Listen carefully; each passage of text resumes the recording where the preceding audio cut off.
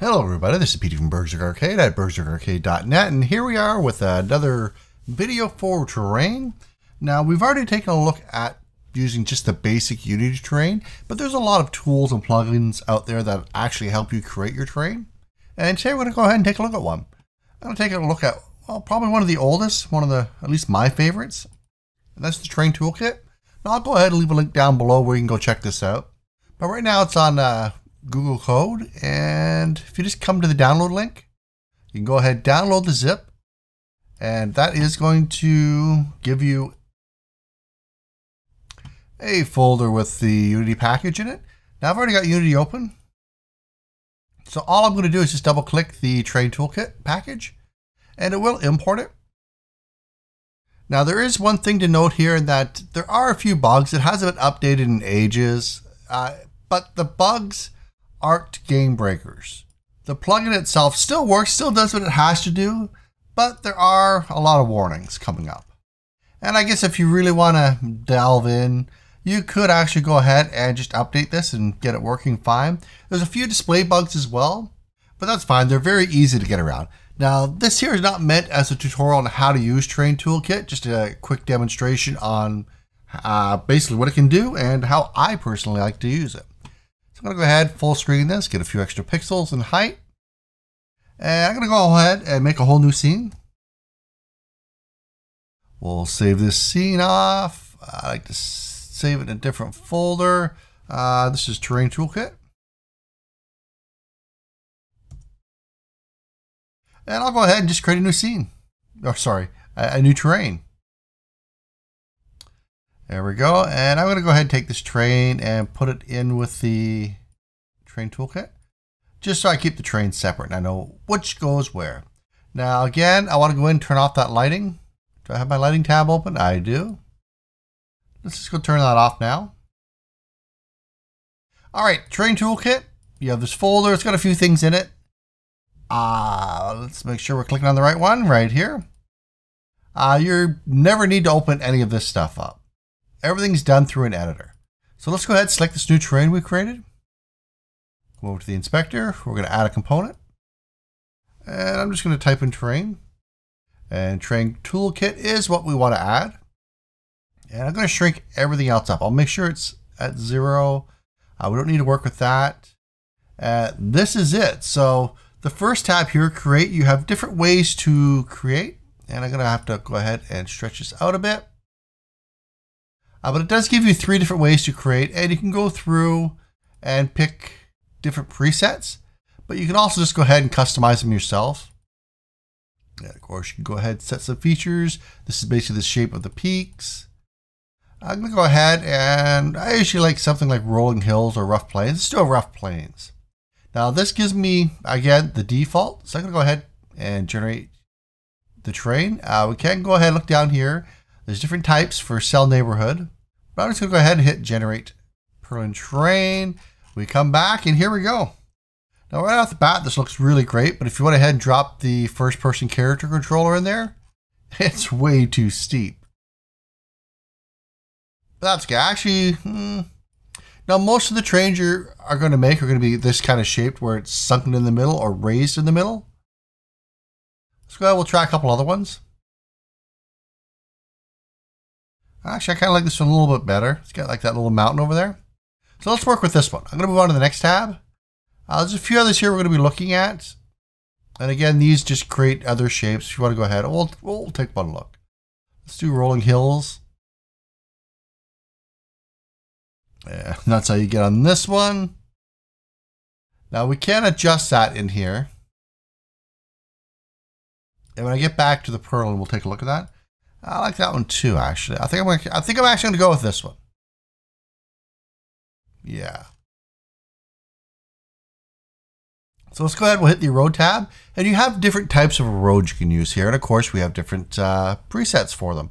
So I'm just going to go ahead and let's take a fast, harsh one for this one. And again, like I said, you can go ahead and customize this. So I'm just going to go run through, add some erosion, and we see how it changed a little bit. Going to add some hydraulic erosion to it. Uh, let's do a full one. And I'm going to do a low rainfall soft earth. Again, depending on the type of world you want to create. Now, one of the reasons why I'm doing this one first is it's just so simple to use. And we see how it changes a bit there. Of course, feel free to play around with it. Control Z will undo. Come down to tidal, and I want a low tide. So low tide with strong waves. Now this is going to affect the lower parts, and I don't think I actually have anything low enough. Yeah, I had nothing low enough anyway to be affected by that. Now we could lower it, and we will be looking at that in a bit. And I might come back to tide then, but for now, let's go ahead. Uh, let's make it an easterly wind.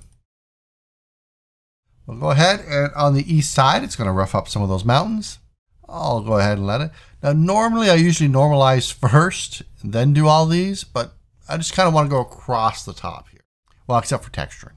So some of these options might take a little longer depending on the speed of your computer and the complexity that you're setting up. There we go. Wow, look at that. That really made a huge difference, didn't So I'm going to come back to create. And I'm going to go to normalize. And here we go. We have the minimum height, maximum height, and the blend. So the blend is basically, you know, how strong the effect is going to be. I'm going to set this minimum height to, I don't know, half the height that it is now. Yeah, let's try it again. Let's try a quarter of the height. There we go. Looks like it might be getting closer to something I can use. I want a bit more. Again, once you drop your first person control in there and start running around, you can really get a, a better idea of the scale. And let's go ahead, select it one more time. I'm going to go down a little bit more, maybe 1.5. There we go, something like that. Now, this is where I usually go in and start doing my road now, but I've already done it. But I'm, going to come back into the smooth. And of course, you have uh, the ability to smooth out some rough spots.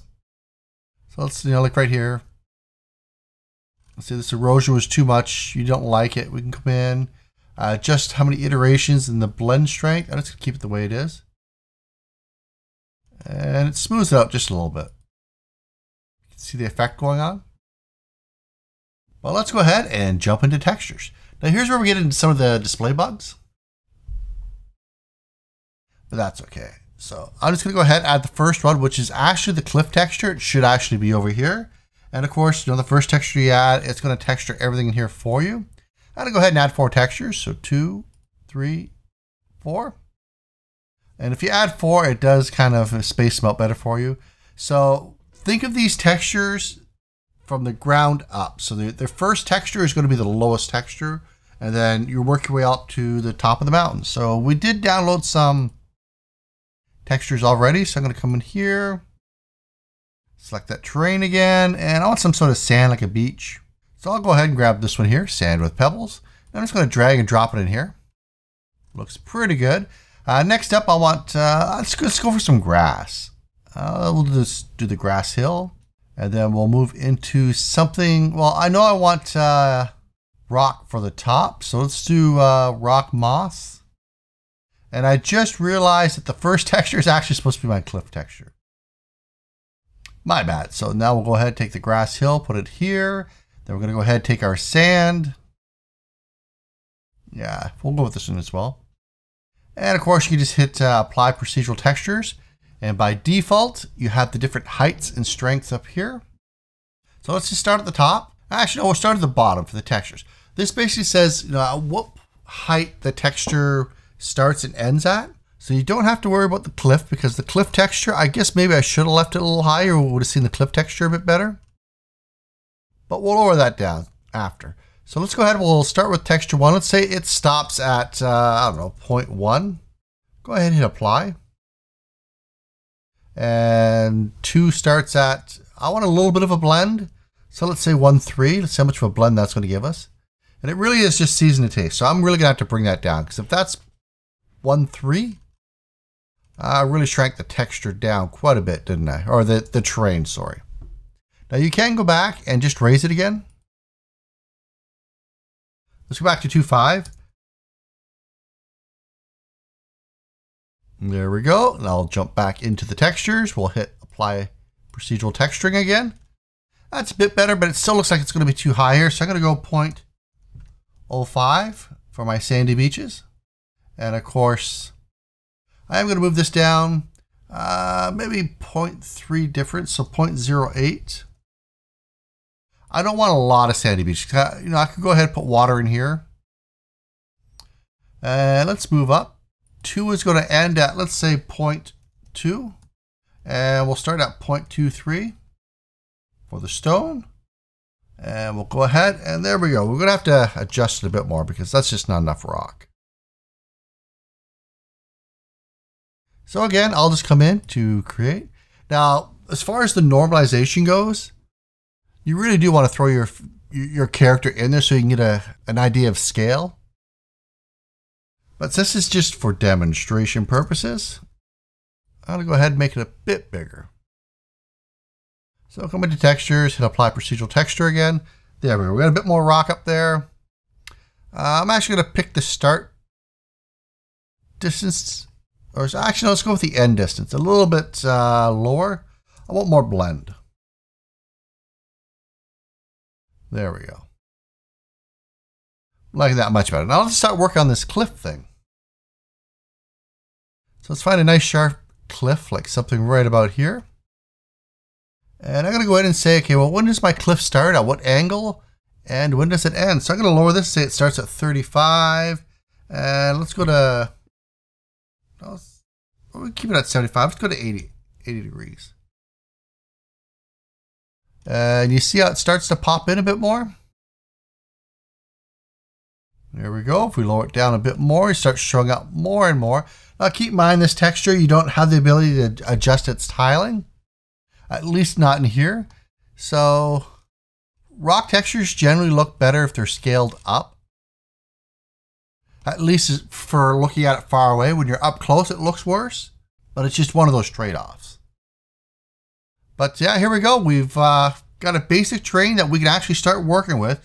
You can actually go ahead, and say if you're done, you decided, you know, this is a great place to start molding my terrain. And this is not meant to actually replace the Unity terrain engine. I just use it as a place to start. So instead of starting with that flat terrain, I've now got this to work with. So maybe, I don't know, maybe I was going to put like a little village or something like that on the hill up here. and Or maybe even down here, we're going to have our like lake or something. It's just a starting point for me. And that's what I like the most about it. And what we can do is actually go ahead and open up the terrain tools. I'm going to come to these textures. I am actually going to take the rock texture, double click it, and I'm going to adjust the, well, we don't have normals, but if we did have normals, since we can't add them down here, we can't add them here. Now, keep in mind, this tool was created before they had normal maps for the terrain engine. So yes, it is an old tool, but it's one that's so easy to use. It's just a few sliders and a few buttons, and you get something really good just to start off with. But I'm gonna go ahead and adjust this, I don't know, 40 by 40, maybe bigger, 60 by 60. Yeah, I like the look of that from afar. Of course, like I said, when you do get up close, the texture doesn't look as good, but it's a trade-off. If you want hills in the distance, I'd go with the bigger texture. And of course, if you had a normal map, you could also add to that. If you want to add it, make it look a little bit more metallic or smooth. But I'm just going to go ahead and hit apply there. And uh, my terrain is ready to start editing. I can go in there and start molding things the way I want. Uh, let's go. I'm going to shrink this down. Bring up my brush size. I'm going to bring my opacity down a bit. And actually, I'm yeah, we'll, we'll stick here first. And I'm free to start doing what I want. I did not want to do that. Let's actually make a nice grass. Let's make a dirt road. That'd be kind of fun. So I'm going to take down the target strength uh, and the opacity a bit. Probably need that brush size down. But let's say I was going to put a village here. Maybe I want a nice little dirt road. Too strong. Maybe we want to start brushing in like a dirt road or something like that that comes up here. And of course, you could also do a little bit of more terraforming if you feel the need to as well. But there we go hopefully you can add this tool to your arsenal and uh, it'll help you out and give you a great spot to start with creating your terrains. Anyway, as always, I'll see you in the next video. Bye-bye. So if you like the video, go ahead and hit that subscribe button down below. It really does help me out here on YouTube. And go ahead and follow me on Twitter. You're a pretty chatty guy over there. When I'm not walking through a forest or being stalked by eagles and falcons, lions, tigers, and bears.